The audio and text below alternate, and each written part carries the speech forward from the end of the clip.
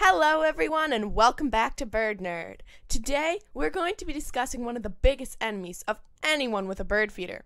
No, it's not squirrels. European starlings, also known as common starlings, come through in giant flocks and bully away any other birds at the feeders before gobbling down all the seed. Now, even though they're not loved by everyone, they are still fascinating birds. So, without ado, let's learn about them.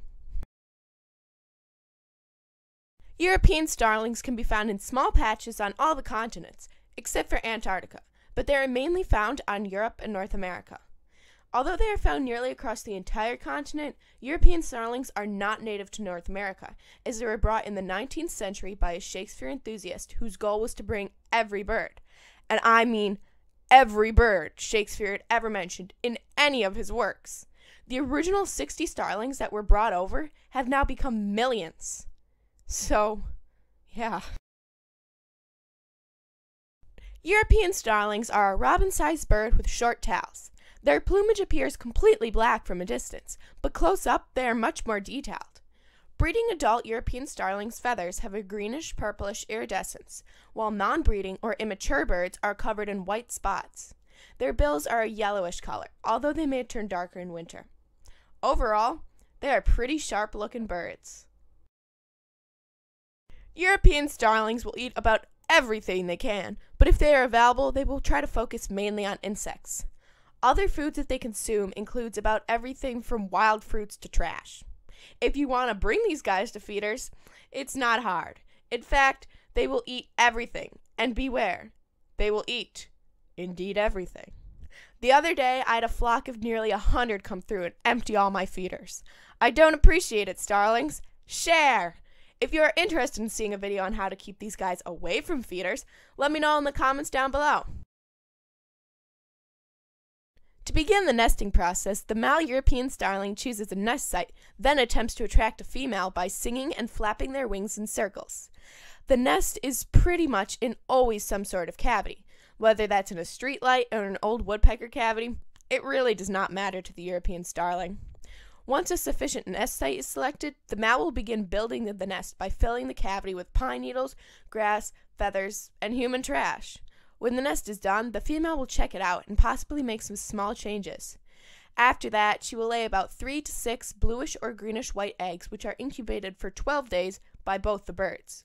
After hatching, the babies have grayish feathers and are pretty much helpless as their eyes stay shut for about a week after hatching. Juvenile starlings' feathers will appear more gray or spotted than breeding adults, even for a while after they leave the nest. Starlings are often ground foragers and can be spotted in open areas, often foraging with other species such as grackles or cowbirds. There are many behavioral cues that European starlings use to communicate, but the most common is agitation. When they're agitated, they will express this by flicking their wings and raising their tail feathers. If they are angry at another starling, they will do the same behavioral cues, except they will also stare at them intently while standing straight. If the opponent submisses, they will crouch back and move away with their feathers flat.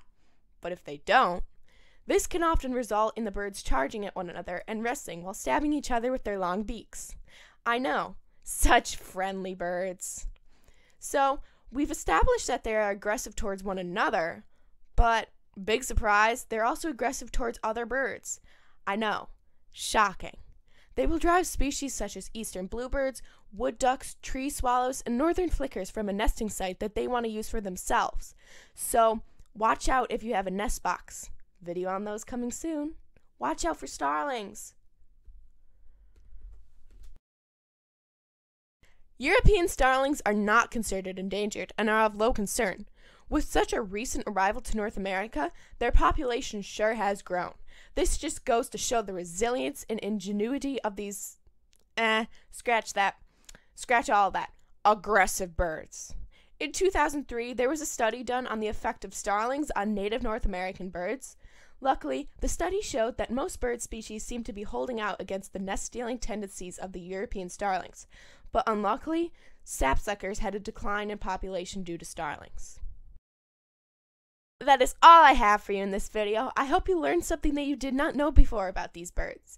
If you enjoyed this video, please don't forget to like, subscribe, and hit the notification bell so you know when I release a new video. Thanks for watching, and I will see you next time on Bird Nerd.